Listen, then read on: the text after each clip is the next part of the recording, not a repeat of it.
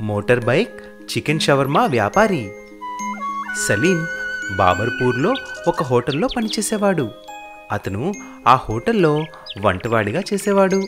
అతను రకరకాలైన రుచికరమైన వంటకాలు చేసేవాడు. ప్రత్యేకంగా అతను చేసే చికెన్ షవర్మా రోల్ అంటే అందరికీ చాలా ఇష్టం. అందుకే అది తినడానికి చాలా దూరం నుంచి వచ్చేవారు.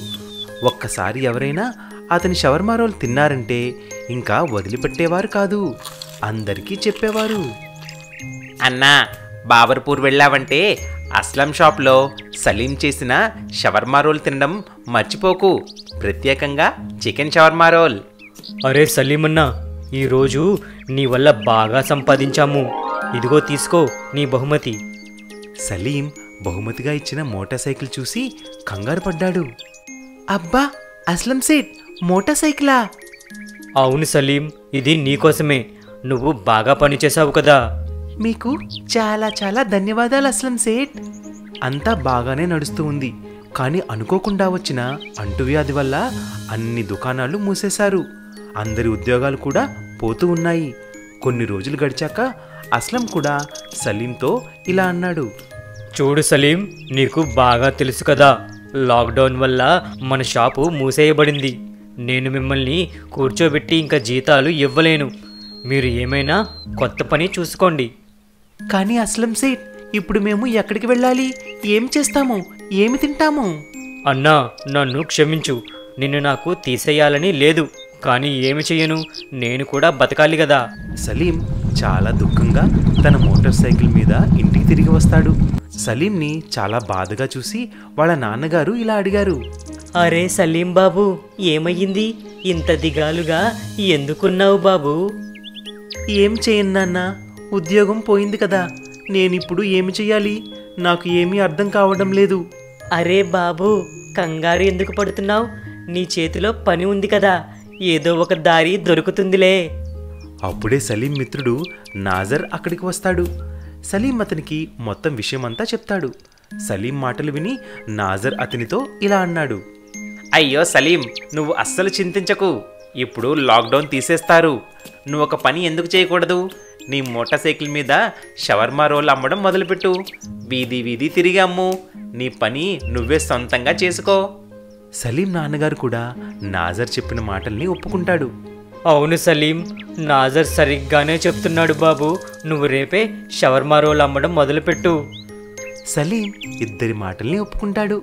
అలా మరుసటి రోజు నుంచే తన మోటార్ సైకిల్ మీద చికెన్ షవర్మా రోల్ చేసి అమ్మడం మొదలు పెడతాడు మెల్లమెల్లగా అతని వ్యాపారం పెరుగుతుంది. అలా రోజు రోజుకి అతని ఆదాయం పెరుగుతూనే ఉంది. అప్పుడు చుట్టుపక్కల వాళ్ళు కూడా రోజు motorcycle chicken shawarma roll వ్యాపారి సలీం కోసం ఎదురు చూశారు అతిపెద్ద ఎద్దు లారీ. భైరవపురం అనే ఊరిలో రైతులు వ్యవసాయం మీద ఆధారపడి జీవిస్తూ ఉండేవారు. అక్కడి రైతులు చెరుకు బియ్యం గోధుమలు ఇంకా అరటిపళ్ళు పండించి చేసేవారు. ఒకరోజు అనుకోకుండా ఎక్కడి నుంచి వచ్చిందో గాని ఒక అతిపెద్ద విశాలమైన ఎద్దు వచ్చింది. ఆ ఎద్దు వచ్చి మొత్తం ఊరంతా చెల్లా చెదురు చేస్తుంది. కార్లని ట్రాక్టర్లని బళ్ళని ఇంకా దాని ముందు ఏ వాహనం వచ్చినా వాటిని దాని కొమ్ములతో ఎత్తి పడేస్తూ ఉండేది. తరువాత పొలంలోకి వెళ్ళి మొత్తం పంటనంతా పాడు చేయడం మొదలుపెట్టింది. అప్పుడు ఊరి వాళ్ళందరూ ఒక దగ్గర చేరారు. ఒక అతను మనం ఏదో ఒకటి వెంటనే చెయ్యాలి. లేదంటే ఈ విశాలమైన ఎద్దు మొత్తం ఊరంతా ఇంకా మన పంటలన్నీ పాడు చేస్తుంది. ఊరి వాళ్ళందరూ అతని మాటలతో సమ్మతించారు.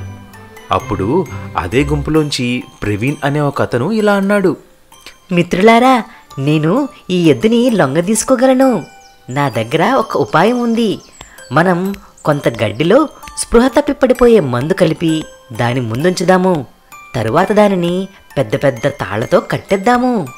అందరూ ఆ మాటలకి ఒప్పుకుని ఆ పెద్ద ఎద్దు ముందు స్పృహ తప్పి పడిపోయే మందు కలిపి గడ్డిని పెట్టారు. అలా అందరూ ఒక చెట్టు వెనక నించొని చూస్తారు. అప్పుడు ఆ విశాలమైన ఎద్దు వచ్చి గడ్డిని తిని కొంతసేపటి తరువాత స్పృహ తప్పి పడిపోతుంది. అప్పుడు అందరూ కలిసి ఎద్దుని పెద్ద పెద్ద తాళ్ళతో కట్టేస్తారు. అప్పుడు ప్రవీణ్ ఫారెస్ట్ డిపార్ట్మెంట్ వాళ్ళకి ఫోన్ చేస్తాడు.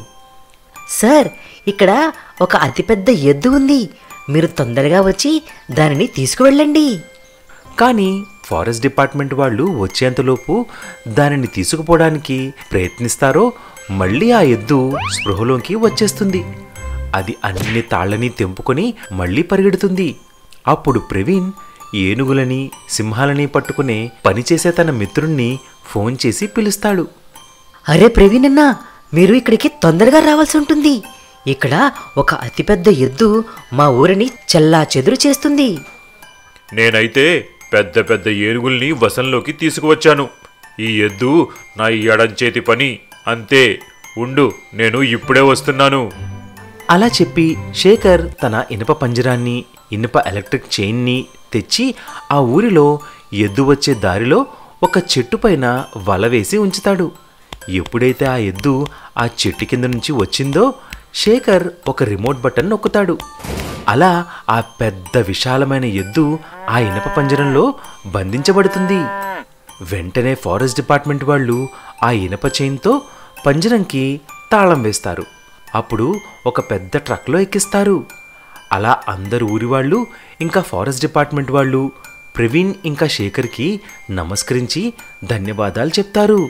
అప్పటి నుంచి ఊరి మొత్తం శాంతంగా జీవించింది. బంగారు బూట్లు. గోపి తుర్కపల్లి గ్రామంలో తన అమ్మ నాన్నతో కలిసి ఉండేవాడు. అతను తుర్కపల్లి ప్రభుత్వ పాఠశాలలో చదువుకుంటూ ఉండేవాడు. అతను చదువులో ఎప్పుడూ ఫస్ట్ వచ్చేవాడు. ఇంకా ఆటపాటల్లో కూడా ఎప్పుడూ ముందుండేవాడు.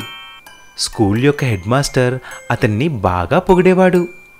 ఒకరోజు చుట్టుపక్కల ఊళ్ళల్లో ఆటల పోటీల్లో గెలిచిన తర్వాత అతను గోపితో మాట్లాడారు. అతను స్కూల్లో గోపికి బహుమతి ఇస్తూ ఇలా అన్నారు. గోపి నువ్వు మళ్ళీ నిరూపించావు. నువ్వు తుర్కపల్లి స్కూల్లో ఉన్నంత వరకు అప్పటి వరకు ఈ స్కూల్ ఆటపాటల్లో ఎప్పుడూ ప్రథమంగా ఉంటుందని. గోపి ఇంటికి వచ్చి తన బహుమతిని తన అమ్మా నాన్నకి చూపిస్తాడు. అమ్మా నాన్న ఇటు చూడండి నాకు మళ్ళీ ఇంకో ట్రోఫీ వచ్చింది. చాలా బాగుంది బాబు నాకు నిన్ను చూస్తే గర్వంగా ఉంది. మరుసటి రోజు ఎప్పుడైతే గోపి స్కూల్కి వెళ్ళాడో అప్పుడు తెలుస్తుంది మళ్ళీ ఒక ఆటల పోటీ జరుగుతుందని. అందులో చిన్న మరియు పెద్ద స్కూల్స్ రెండూ పాల్గొంటాయి. మరి ఆ పోటీల్లో ప్రథమ స్థానం వచ్చేవారికి గోల్డ్ మెడల్తో పాటు ఒక జత బంగారు బూట్లు కూడా ఇస్తున్నారంట.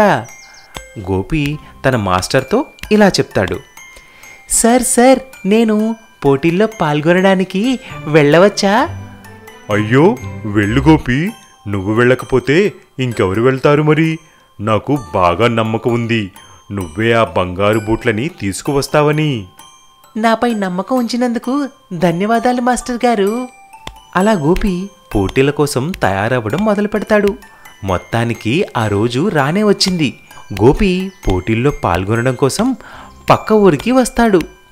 పోటీ సమయంలో ఎప్పుడైతే గోపి ఉట్టి కాళ్ళతో పరిగెడతాడో మిగతా వాళ్ళు అతనిని చూసి నవ్వుతారు.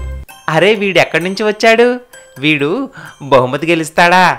ఇతని దగ్గర వేసుకోవడానికి కూడా బూట్లు లేవు కదా. ఇంకా మరి కలలేమో బంగారు బూట్లు గెలుచుకుందామనే. పోటీలు ప్రారంభమయ్యాయి. అలా చూస్తూ చూస్తూనే గోపి అన్ని పోటీల్లో కూడా మొదటి స్థానంలో ఉంటాడు. వంద మీటర్లు వెయ్యి మీటర్లు లాంగ్ జంప్ హై జంప్ అన్నిట్లో కూడా ఫస్ట్ వస్తాడు. ఇంకా ఒక్క పోటీ మాత్రమే ఉండిపోయింది. గోపి అందులో కూడా తన శక్తిని మొత్తం పెడతాడు. ఒట్టి కాళ్ళతో పరిగెట్టినా కూడా అతను అందులో మొదటి స్థానంలో ఉంటాడు. అది చూసి అందరూ ఆశ్చర్యపోతారు. హెడ్ మాస్టర్ గారు అతనిని తన భుజాలపై ఎత్తుకుంటారు. అప్పుడు గెలిచిన వారిని ప్రకటిస్తున్నారు. అందరూ చాలా కష్టపడి నిజాయితీగా పోటీల్లో పాల్గొన్నారు. కానీ మొదటి స్థానం గెలుచుకున్నవారు తుర్కపల్లి ఊరి నుంచి వచ్చిన గోపి. అందుకే గోపికి బంగారు బూట్లు బహుమతి కింద ఇవ్వబడుతుంది. అలా గోపి తన కష్టం ఇంకా దీక్ష వల్ల బంగారు బూట్లని బహుమతి కింద పొందుతాడు. ఇంకా చాలా గర్వంగా బంగారు బూట్లని తీసుకుని తన ఊరు మళ్ళీ తిరిగి వస్తాడు. అందరూ అతనిని స్వాగతిస్తారు.